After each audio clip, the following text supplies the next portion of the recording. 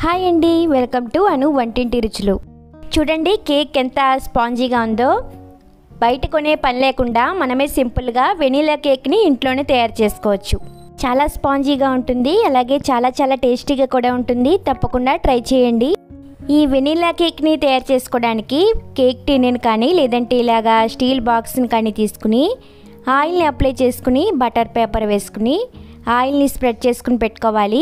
butter paper లేనట్లయితే కొద్దిగా మైదా పిండిని డస్ట్ చేసుకుని పెట్టుకోవచ్చు ముందుగా డ్రై ఇంగ్రీడియంట్స్ని మిక్స్ చేసుకోవడానికి బౌల్ మీద స్ట్రైన్ అని పెట్టుకుని దాంట్లో ఒక కప్పు మైదా పిండి half tea spoon baking powder పావు టీ స్పూన్ బేకింగ్ సోడా వేసుకుని వీటన్నిటిని కూడా జల్లించుకోవాలి ఇలా అన్నిటినీ కూడా జల్లించుకున్న తర్వాత అన్నిటినీ కూడా ఒకసారి మిక్స్ చేసుకుని పెట్టుకోవాలి ఇప్పుడు ఒక మిక్సింగ్ బౌల్ని తీసుకుని దాంట్లో అరకప్పు పెరుగు ఇందులోనే ఒక కప్పు పంచదార పొడి కూడా వేసుకుని రెండింటిని కూడా కలిసే విధంగా బాగా మిక్స్ చేసుకుని పెట్టుకోవాలి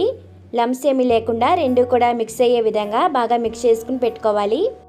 రెండింటిని కూడా ఇలాగా మిక్స్ చేసి పెట్టుకున్న తర్వాత ఇందులోనే పావు కప్పు ఆయిల్ అలాగే పావు టీ స్పూన్ వెనీలా ఎసెన్స్ కూడా వేసుకుని వీటన్నిటిని కూడా బాగా మిక్స్ చేసుకోవాలి ఇలా అన్నిటినీ కూడా బాగా మిక్స్ చేసుకున్న తర్వాత ముందుగానే మనం మైదా పిండిలో బేకింగ్ సోడా బేకింగ్ పౌడర్ వేసుకుని మిక్స్ చేసుకున్నాం కదా దాన్ని కొద్ది కొద్దిగా వేసుకుంటూ మిక్స్ చేసుకుంటూ ఉండాలి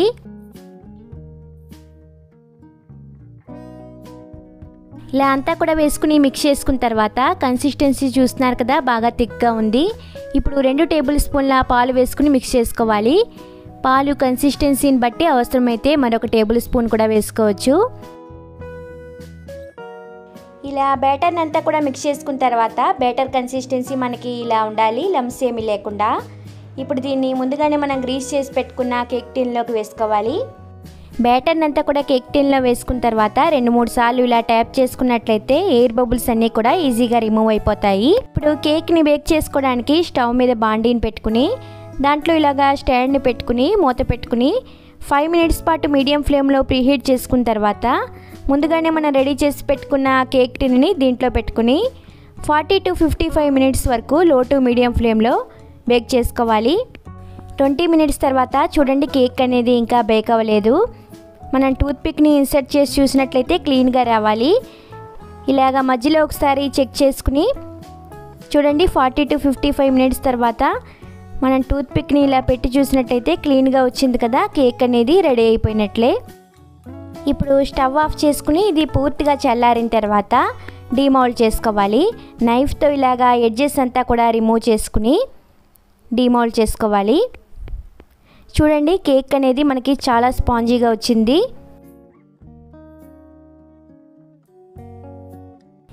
ఇలా డిమోల్డ్ చేసుకున్న తర్వాత దీన్ని లేయర్స్ కింద కట్ చేసుకోవాలి థ్రెడ్తో అయితే మనకి ఈజీగా కట్ అవుతాయి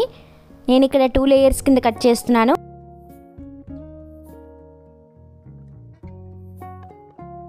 ఇలా లేయర్స్ కింద కట్ చేసుకున్న తర్వాత అనివెన్గా ఉన్న పార్ట్ని అంతటిని కూడా రిమూవ్ చేసుకోవాలి ఇప్పుడు షుగర్ సిరప్ని రెడీ చేసుకోవడానికి ఒక బౌల్లో అరకప్పు వాటర్ అలాగే రెండు టేబుల్ స్పూన్ల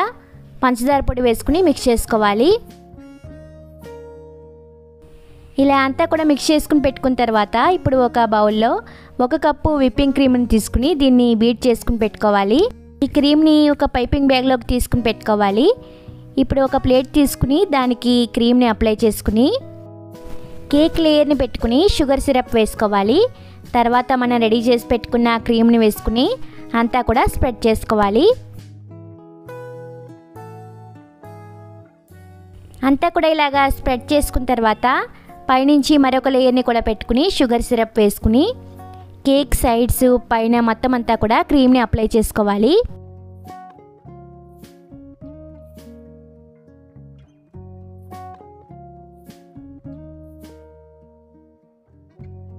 ఇలా క్రీమ్ని మొత్తం అప్లై చేసుకున్న తర్వాత మనకి నచ్చిన విధంగా డెకరేట్ చేసుకోవచ్చు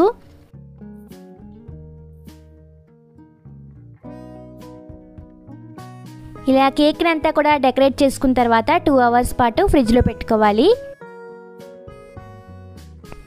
అంతేనండి వెనీలా కేక్ రెడీ అయిపోయింది దీన్ని మీరు కూడా తప్పకుండా ట్రై చేసి మీకు ఎలా వచ్చిందో కమెంట్ సెక్షన్లో తెలియచేయండి ఈ వీడియో నచ్చితే లైక్ చేయండి షేర్ చేయండి సబ్స్క్రైబ్ చేయండి